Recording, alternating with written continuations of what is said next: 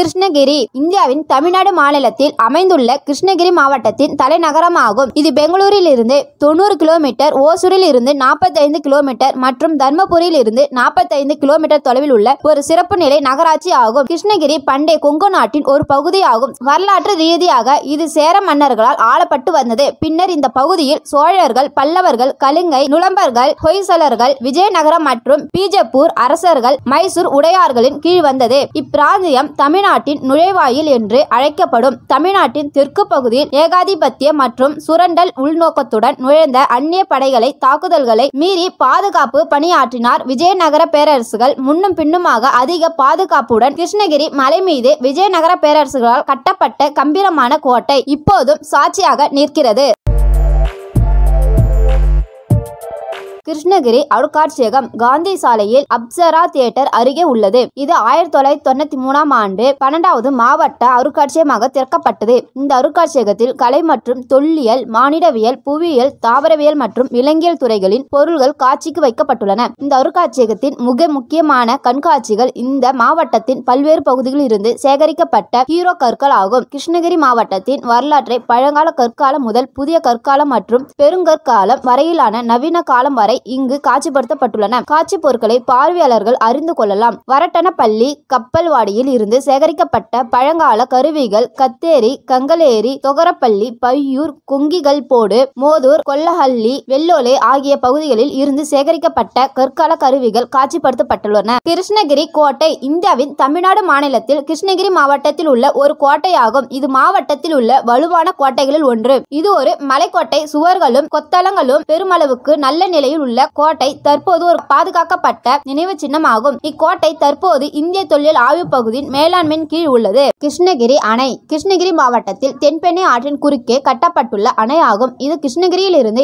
ஏழு கிலோமீட்டர் தொலைவில் உள்ளது. இந்த அணை ஆயிரத்தி தொள்ளாயிரத்தி ஐம்பத்தி எட்டில் கட்டி முடிக்கப்பட்டு அப்போதைய தமிழக முதல்வரான காமராஜரால் திறந்து வைக்கப்பட்டது. இதன் கொள்ளளவு ஆயிரத்தி அறுநூத்தி அறுபத்தி ஆறு மில்லியன் கன அடிகள். நீர்ப்பாசனம் பெறும் ஆயக்கட்டு பகுதியானது மூவாயிரத்தி அறுநூத்தி ஐம்பத்தி ரெண்டு ஹெக்டேர் நிலமாகும். ஸ்ரீ பாசவ பத்மாவதி சக்திபீட் தீர்த்த தலம் கிருஷ்ணகிரிக்கு வெளியே ஏழு கிலோமீட்டர் தொலைவில் உள்ள ஓரப்பம் கிராமத்தில் அமைந்துள்ளது. புனித ஸ்ரீ ஸ்ரீ வசந்த குருதேவ்ஜி அவர்களால் நிறுவப்பட்ட ஆன்மீக அமைப்பாகும். இருபத்தி நாலு தீர்த்தங்களில் இருபத்தி மூணாவது தீர்த்தகரமான ஸ்ரீ பாசவநாத் பகவான் ஜைன மதத்தின் புனித தர்மத்தில் கோவிலில் வழிபடுகிறார். தாலித்தோட்டம் மற்றும் ஏரி கிருஷ்ணகிரியில் இருந்து எழுபத்தி ஏழு கிலோமீட்டர் தொலைவில் ஓசூரில் அமைந்துள்ளது. தாலித்தோட்டம் மற்றும் ஏரி தேன்கன்னிக்கோட்டை தாலுகாவில் உள்ள பலமலை மலை காலங்களில் சூழப்பட்ட தளி கிராமம். கடல் மட்டத்திலிருந்து ஆயிரம் அடி உயரத்தில் அமைந்துள்ள இந்த இடம் இங்கிலாந்து காலநிலையை நினைவுபடுத்துகிறது. எனவே ஆங்கிலேயர் ஆட்சியில் இந்த இடத்தை லிட்டில் இங்கிலாந்து என்றும் அழைக்கின்றனர். காட்டுவீர ஆஞ்சநேயர் கோயில் தமிழ்நாட்டின் கிருஷ்ணகிரியில் அமைந்துள்ள காட்டுவீர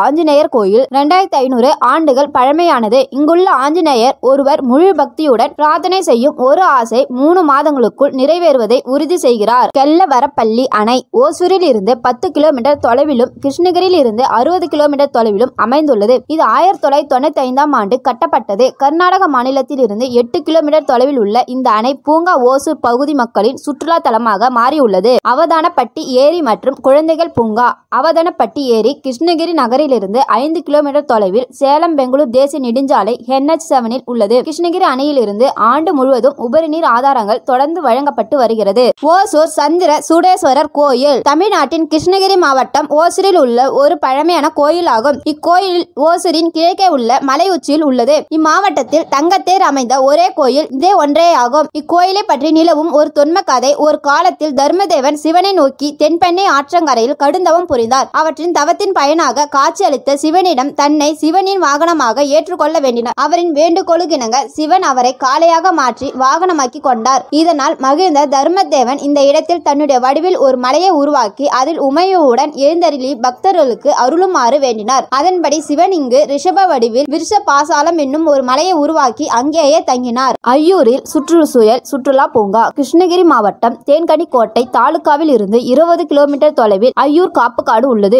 சுற்றுச்சூழல் சுற்றுலா பூங்கா மேற்கு தொடர்ச்சி மலைப்பகுதியில் கடல் மட்டத்திலிருந்து ஆயிரத்தி அறுபது மீட்டர் உயரத்தில் அமைந்துள்ளது. வனத்துறை உருவாக்கியுள்ளது. ஐயூரில் உள்ள சுற்றுச்சூழல் சுற்றுலா பூங்கா மூங்கில் குடிசைகள் பாரம்பரிய குடிசைகள் நவீன குடிசைகள் மற்றும் தங்குமிடம் நவீன கண்காணிப்பு கோபுரம் மரத்தின் மேல் கண்காணிப்பு கோபுரம் ஆகியவற்றை இங்கே காணலாம். குழந்தைகள் விளையாட்டு மைதானங்கள் செயற்கை நீர் அருவிகள் ஆகியவை பூங்காவின் முக்கிய ஈர்ப்பாகும். ராஜாஜி நினைவிடம். தொரப்பள்ளி ராஜாஜி வீடு மாபெரும் தலைவர் ராஜாஜியின் நினைவாக ராஜாஜி பிறந்த தொரப்பள்ளியில் உள்ள இல்லத்தை நினைவிடமாக தமிழக அரசு மாற்றியுள்ளது. இது ஓசூரில் இருந்து பத்து கிலோமீட்டர் தொலைவில் ஒன்னல்வாடிக்கு அருகில் உள்ளது. அவருடைய சில உடைமைகள் மற்றும் அவரது பல்வேறு வாழ்க்கை நிலைகளை சித்தரிக்கும் புகைப்பட தொகுப்பு இங்கு காட்சிப்படுத்தப்பட்டுள்ளது. ராயக்கோட்டை இது தமிழ்நாட்டின் கிருஷ்ணகிரி மாவட்டம் தேன்கனி கோட்டை வட்டம் ராயக்கோட்டை என்ற ஊரில் உள்ள ஒரு கோட்டையாகும். இவ்வூருக்கு பக்கத்தில் உள்ள மலையில் கோட்டை உள்ளது. இம்மலை கடல் மட்டத்தில் இருந்து ஆயிரத்தி ஐநூறு அடி உயரமுடையது. இக்கோட்டையை தரைக்கோட்டை மலைக்கோட்டை என இரு பிரிவுகளாக பிரிக்கலாம். மலைக்கோட்டை சிறந்த பாதுகாப்பு அரண்களை கொண்டது. பல குளங்கள் வெடிமருந்து சாலைகள் இடுபாடுகளுடன் கூடிய பல கட்டடங்கள் உள்ளன. ஸ்ரீ வெங்கடேஸ்வர சுவாமி கோயில் ஓசூர் அருகே விஷ்ணுனுக்கு அர்ப்பணிக்கப்பட்ட சிறிய கோயில் இது. இது ஸ்ரீ வெங்கடேஸ்வர சுவாமி கோயில் அல்லது தஷின் திருப்பதி என்றும் அழைக்கப்படுகிறது. இது சின்ன திருப்பதி ஓசூர் என்றும் அழைக்கப்படுகிறது.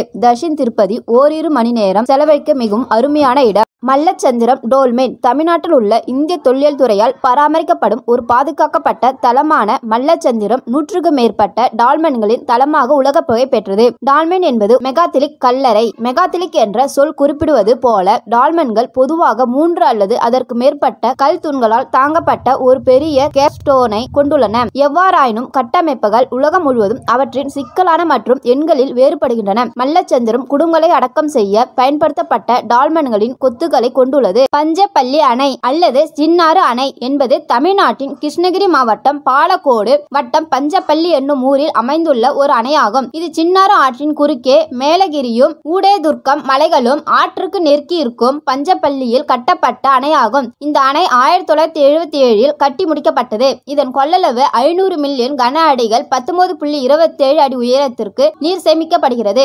நீர்ப்பாசனம் பெறும் பகுதியாகும்.